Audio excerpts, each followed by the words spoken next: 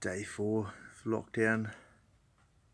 This town's never been so busy. There's people playing and going for walks and dressing up in lycra and going for bike rides. Uh, I just figured out, fuck that, I'm gonna stay at home. Have a few brewskis. That's a fitting drink for the moment.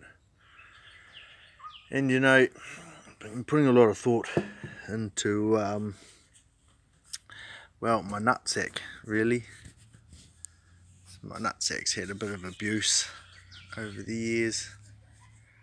I thought, well, it's about time I pay some special attention to it. So, um, I'll show you what I'm up to. Can I turn my camera around or? No, okay. Apparently can't turn my camera around. Great. Okay, try and show you here.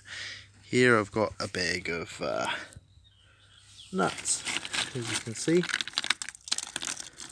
And, um, well, I like having my nuts in a sack.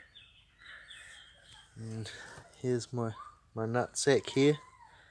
As you can see, it's got a, a hole in it. So, um, stitching it up so I can put my nuts back in the sack.